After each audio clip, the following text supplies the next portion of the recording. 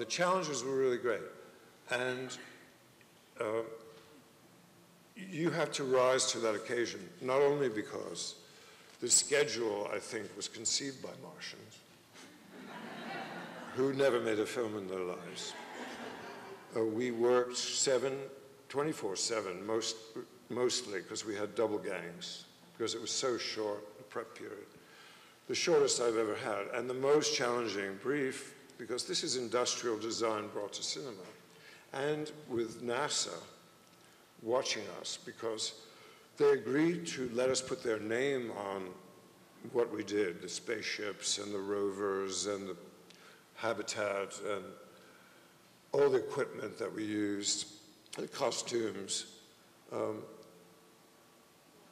with the codicil that it had to conform to the, you know, basic laws of the universe and to the advanced technology that they are now developing for an actual mission to Mars very soon. I mean, I was privileged to go to um, Houston, to Johnson Space Center, and look at actual test facilities for the upcoming first manned mission to Mars that is called Orion program.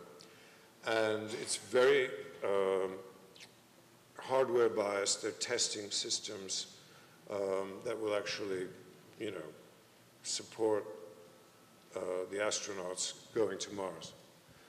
Uh, and, but it had no star. It was hardware only, just functional systems.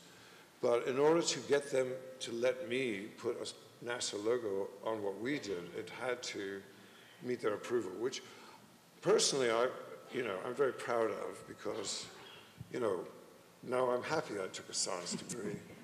Um, I actually learned something in physics class that helped me understand a very small amount of what they were talking about.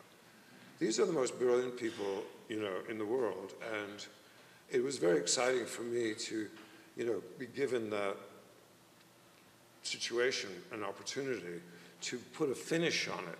And I quote, they said, Arthur, we look to you guys to make us look good. So, you know, just don't go too far out with your, you know, uh, technology. So, you know, I've got a couple of emails that mean more to me than any award from the head of planetary studies at NASA congratulating me on the film.